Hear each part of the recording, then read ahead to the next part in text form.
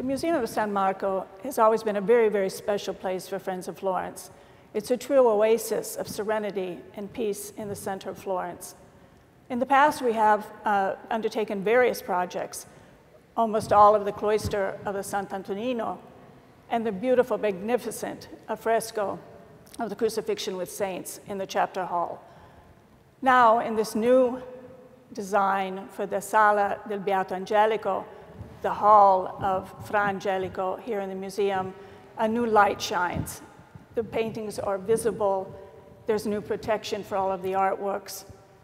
And visitors will be able to see the various beautiful paintings as they should be.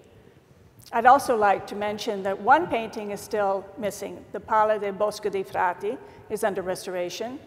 The restorer is Lucia Biondi, and it should be finished in approximately another year.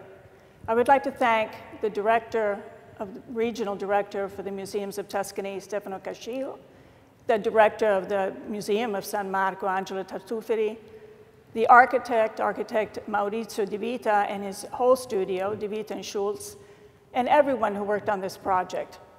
But especially I'd like to thank our donors.